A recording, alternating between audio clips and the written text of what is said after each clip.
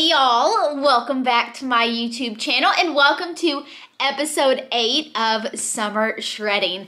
Today should be a pretty interesting day, so I thought it would be a good day to pick up my camera and bring y'all along with me.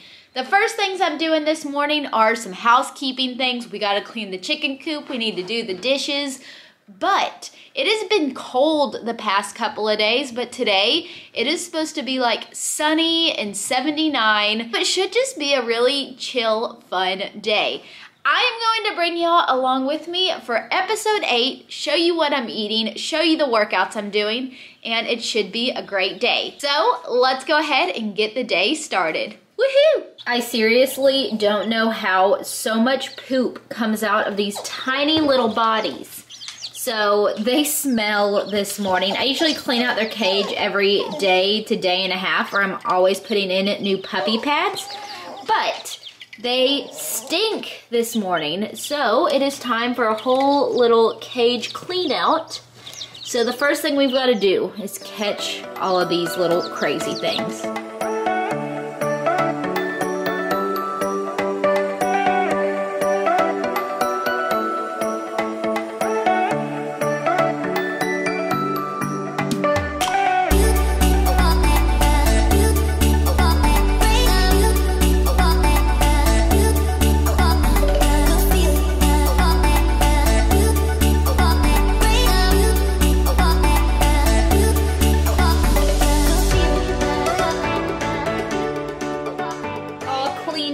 Ready for the babies to go back in here. I put cling wrap on top of this heater because they'll get up here and poop all over it and this is the easiest way to clean it. So we are not gonna forget to put the lid on where they can get out and the dogs chase them like I did yesterday. So that is on there. Now let's add in the babies and I can guarantee you within five minutes it's gonna look like an utter disaster in here. And you're not allowed to be in here. Come on, get out. Y'all are too crazy around the chickens. I figured I could show you each baby as I put them back in. So this is baby number one, baby number two, number three, number four, number five, number six, number seven, number eight, number nine, this one's number 10, and this little wild thing is number 11 who does not want to pose for the camera. Seriously, look at how dirty they got it in just the time it took me to grab 11 chicks out of a box. They literally just throw it everywhere. There's no keeping it nice and clean and tidy, you crazy things.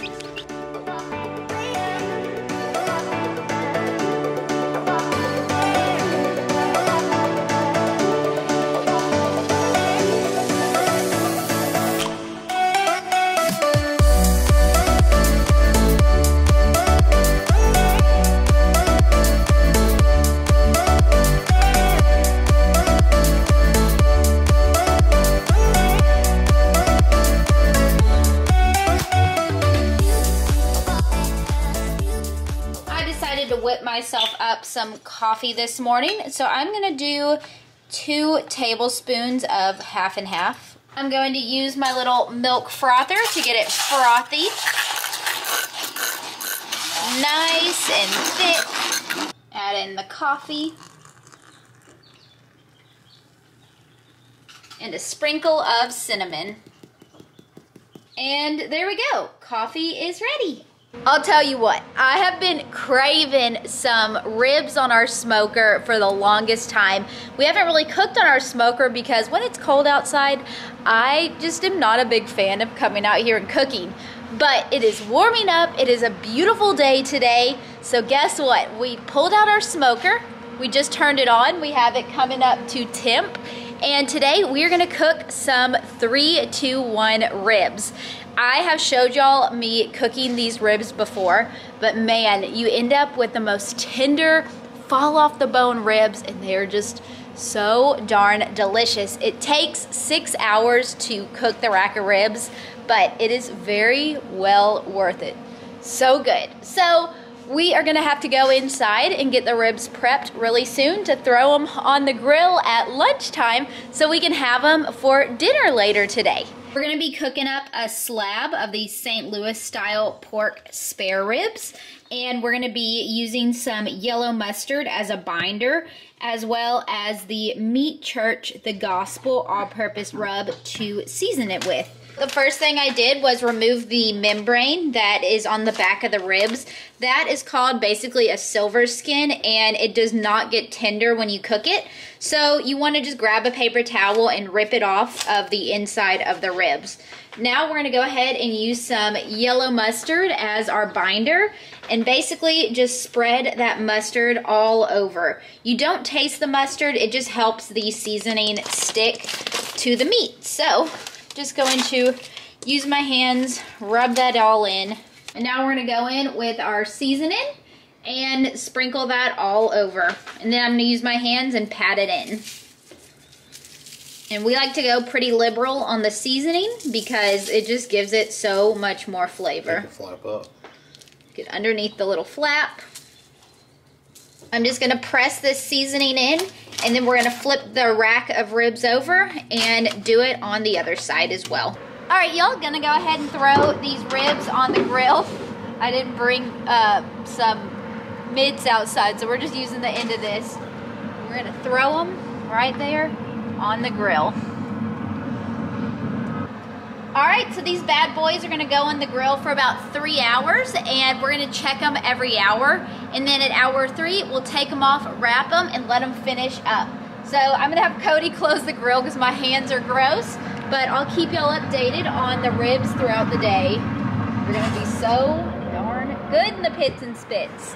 We got the grill rolling and now we are running to the store real quick to run a couple of errands.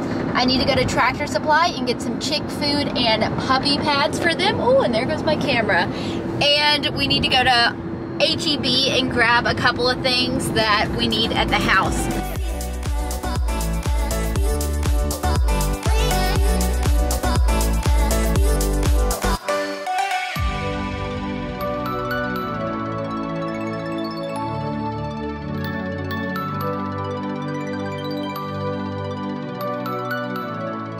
It is 2.38 and neither Cody or I have had any food today besides the like half cup of coffee I had earlier.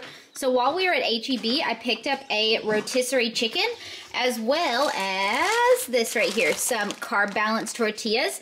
And I'm gonna make Cody and I some chicken quesadillas. I thought that would be a pretty quick and easy but delicious meal for us. We got our rotisserie chicken shredded so I can make us our quesadillas. And a little fun fact that I didn't realize until recently, if you get a rotisserie chicken, it is a million times easier to just shred the chicken when you get home while it is still warm and it'll shred apart so, so easily. If you throw it in the refrigerator and then try and do it later, that meat gets hard and it's so difficult to just sit there and pull it apart. We did this in like three minutes versus the last time I pulled apart a cold rotisserie chicken. It took me like 25. So 10 out of 10 recommend uh, pulling it apart as soon as you get home. So for the quesadillas, I am going to use just some of this Mexican blend shredded cheese I have. I'm gonna use a little sprinkle of this Blackstone taco and fajita seasoning just to give it a little extra kick. And like I mentioned, these carb balanced tortillas that I picked up at HEB. To make these, I'm just gonna throw a tortilla down in the pan, sprinkle on a little bit of cheese, add some of my freshly shredded rotisserie chicken, going in with a sprinkle of my taco seasoning, a little bit more cheese so the tortilla sticks to the other side. Pop one more tortilla on and we're just gonna let her crisp up. Easy peasy, lemon squeezy, and a great use for some rotisserie chicken. Let's give her a good flip and let the other side toast and our quesadilla will be ready. Here is what the quesadilla ended up looking like. I made myself one, but I stuffed it full of rotisserie chicken and some cheese. I also picked up some of these thick, juicy blueberries while we were at HEB because they look so, so good. So this is going to be my first meal of the day. Yum. It's been an hour and it's time to spritz the meat just a little bit. We're using some apple juice to keep it moist. While I was eating my delicious quesadilla, I had a knock on the door and Amazon delivered this clothing rack to me. So I ordered this a couple of days ago because I have some plans. I have started pulling a bunch of my clothes that either no longer fits or I just don't wear that still has a lot of life in it. And I am going to be selling a ton of clothes on, I believe Poshmark is the website I think I'm going to use. I also got all of my packing supplies in. I got my mailers, some tissue paper to wrap clothes in, some thank you cards, thank you stickers, and very soon I'm going to be able to start listing my clothes in case anyone is interested. I'd share that with you. I'm pretty excited. I went and got all my little stuff that I need, and I guess I could actually try this new little thing out and throw some clothes on there. Woohoo! She's a little flimsy, but she'll work. This definitely makes things a whole lot easier to sort through and see what I've got. The rack of ribs has been on there for three hours, so what we do next is we're pulling it off and throwing it in some foil to wrap it up I sliced up some butter right here that we're gonna put on top. And we're gonna wrap it up. And then it'll go back on the grill for two more hours. Now back in the grill it goes for a little while longer. I am about to go head out front and do myself a little at-home workout. And as a little bit of a snack, I'm gonna have this Love Good Fats salted caramel bar. We have about an hour and a half until our dinner is ready, so I thought this would hold me over for the time being. What is it, boys? How dare that loud car go by our house? I know. How dare they? Look at y'all. Y'all look like a little gang right there. Y'all would totally protect us from those scary cars, right? Right, boys? Are y'all not the cutest? Y'all are just the cutest little cocker spaniels, aren't y'all? Yeah? I love these guys so much. Say hi to the camera, Bubbo. Say hi, Cooper. Say hi. You're so cute. You're so cute, too. We got Cody in the kitchen cooking up what he wants to go with the ribs. He is making a corn casserole that he has been craving. Right, Cody? That's right. So what he has in here is a box of Jiffy cornbread mix a can of creamed corn and a can of whole kernel corn that was drained. To that, he is going to add a cup of sour cream. I think he wants to make it spicy, so he's going to add some diced jalapenos. And he is going to add a half of a cup of butter. He also ended up adding a little bit of cheese into the mixture. And what's it go into the oven for, Cody? 45 minutes on 350. Look at Cody cooking. And I'm about to make some cabbage as well. Our dinner has come together. We pulled off the ribs from the smoker and they are falling apart as you can tell. Here is the sauteed cabbage Cody made and the jalapeno corn casserole. Time to fix us up a plate and dig on in. Got my plate fixed. I just pulled a bunch of meat off the ribs. Got some of Cody's corn casserole to try. All right, it is dinner time because I am so hungry. Remember how earlier I ate that granola bar and I was like, well, I'm gonna eat this as fuel so I can go work out before dinner. Well, that didn't happen. I uh, helped Cody finish cooking dinner, and then I sat my little lazy butt on the couch and did nothing, and then ate dinner. And now it is 8.59 p.m. And I told myself I needed to get my happy little butt out here and do some exercise. So I just plugged in the elliptical. I am going to work out on that for a little while. I know I needed to get out here and do it, although it's a little bit later than I wanted it's a thought that counts. I am out here about to do a workout and it's gonna suck, but we're doing it.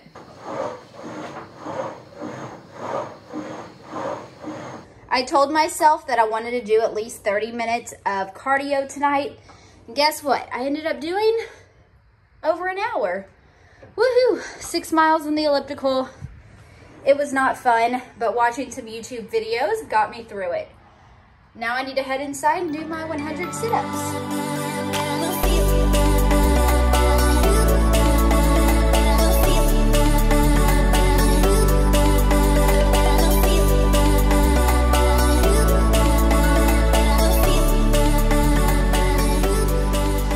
So the one bad thing about me doing an hour of cardio, while I was on the elliptical, I was shopping. I just bought myself an iPhone gimbal and then a gimbal for my vlogging camera because it's always so darn shaky. So I decided to just go YOLO and buy two of these. But the good thing is I can return both of them if they don't work. But yes, I also bought more markers as if I didn't have enough markers already. I just really love these markers and wanted more colors. They're just so good. Just look at how dirty these things have made their cage since this morning. Y'all have no shame. Why y'all so dirty? I can't wait until y'all can go outside for a little while during the day. Go poop out there. Yeah, y'all are so cute though. So adorable. All right, gotta wake up in the morning and do it all over again. Whew, I am looking a little bit rough, but it is now 11.53 p.m. We have been chilling on the couch, watching some TV, and now it is time to get ready for bed. But today overall was a great day. Got my exercise in, even though it was a little bit later than I had planned on. And I had actually planned on doing some weights today, but I guess that's a story for tomorrow instead because I was being lazy. I feel like this summer shred that I'm doing is just helping me be more active. I am making healthier choices and I feel like it is definitely helping me with a little bit of weight loss. Like I've mentioned a million times, I have some hormone issues. I have Hashimoto's hypothyroidism as well as PCOS. So weight loss does not come easy to me. However, usually through exercise and healthy eating, I can start seeing my body more so change shapes, like getting a little bit more curvy in places or my stomach getting a little bit smaller. But the whole weight loss thing, I try not to fret too hard over it because, um, yeah, my body just does not agree with it sometimes. But I am trying really hard and feeling really good. I feel like my stamina has gone up and overall, I am just feeling really, really good. But I hope that you guys enjoyed Summer Shred episode 8. If you did, please give this video a big thumbs up. Subscribe to my channel down below if you haven't done so. And I will see y'all again real soon with another video. Bye, guys. Mwah!